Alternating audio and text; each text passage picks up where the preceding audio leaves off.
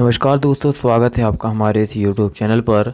और दोस्तों, आज की इस वीडियो में हम बात करने वाले हैं बैंड विथ के बारे में, कि बैंड विथ क्या होती है। दोस्तों जब भी हम बात करते हैं नेटवर्क की कंप्यूटर नेटवर्क की तो हम डाटा को ट्रांसफ़र करते हैं। तो बेसिकली बैंड विथ डाटा को स्थानांतरित करने की आवृत्ति होती है, या डाटा को स्थानांतरित करने की आवृत्ति को हम बैंड विथ कहते हैं।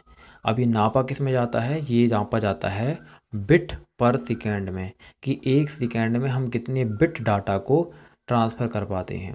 तो बेसिकली बिट जो होता है, वो स्टोरेज जो होती है या डाटा का नापने का एक छोटी इकाई है। ज़ीरो और एक मिलकर एक बिट का तैयार करते हैं।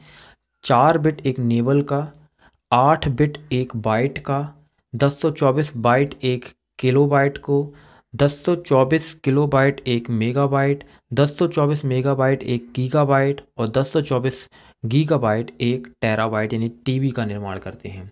तो बेसिकली आपने कई कई बार सुना होगा कि बैंड विथ कितनी है जब भी आ, बेसिकली जब भी आप वेबसाइट बनाने के लिए जाते हैं और आप होस्टिंग पर सेलेक्ट करते हैं तो वहाँ पे आप बैंड विथ भी देखते हैं कि उसकी बैंड विथ कितनी होती है।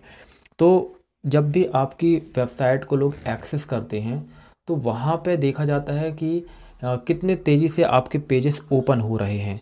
तो उसकी फ्रिक्वेंसी यदि ठीक होगी बैंडविथ ठीक होगी तो आपकी वेबसाइट ठीक ढंग से काम करेगी, वरना बहुत तेज़ी से लोड ही लेती रहती। कई वेबसाइट आपने देखा होगा कि विथ इन कुछ सेकंड ओपन हो जाते हैं पेजेस और कुछ वेबसाइट वेबसाइटें बहुत ज़्यादा टाइम लेती हैं ओपन होने में, खासकर जो गवर्नमेंट की वेबसाइटें होती हैं, वहाँ पे वो बहुत ज़्यादा टाइम ले लेती हैं ओपन होने में। क्यों? क्योंकि जो उनकी होस्टिंग होती है, जहाँ पे उनका सर्वर होता है, उसकी बैंड जो होती है, वो बहुत कह सकते हैं कि चीप क्वालिटी की होती है।